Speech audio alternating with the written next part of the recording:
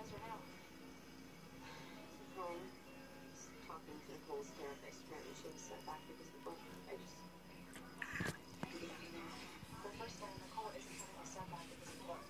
She's having a setback. She's held captive in a jungle for two years. Yeah, well, 12.